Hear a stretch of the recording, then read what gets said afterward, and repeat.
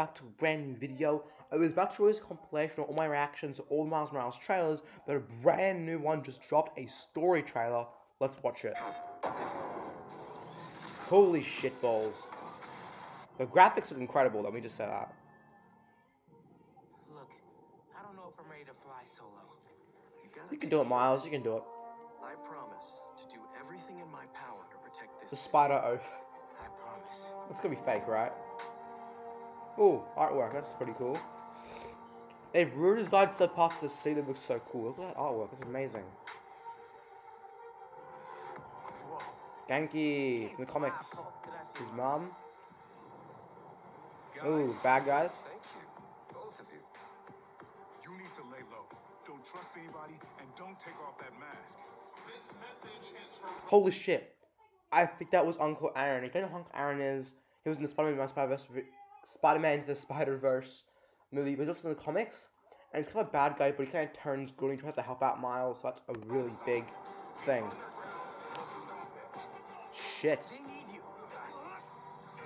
He's gonna have to get Roxxon, because Roxxon, in the comics, they experiment on children with genetic experimentation. I, I don't know what they do here. Sorry, I have a bit of a cold. Miles, what's the underground doing? They're after new form. Tinkerer. What the fuck's that? Is that basically the uh the the bad the chemical thing of the first game, but they just brought it back as a different thing? Ow.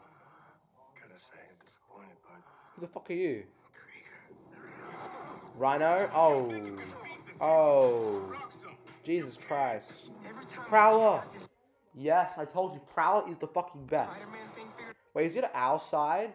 Or is he against us? That's, that's really cool to see. out, something goes wrong. Miles, our family doesn't give up. Okay, does she know he's Spider-Man? Because in the comics, eventually she finds out. But does she know now? I want, I want to know. Whenever you say Spider-Man, you always mean the other one. You're Spider-Man. You can fix this. Yes, we can, Miles. Let's go.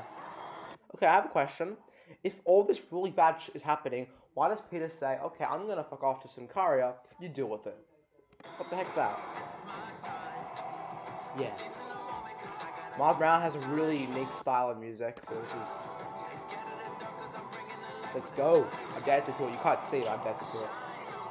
Prowler! Jesus, fuck. Now, as for his Venom powers, they are bullshit. In the comics, they're powerful, but not that powerful, okay? Okay, music by God. Jesus Christ, the game comes out in only a few days. I'm gonna be playing this at launch, so subscribe for that. But for now, I'll see you all later. Like, comment, and subscribe.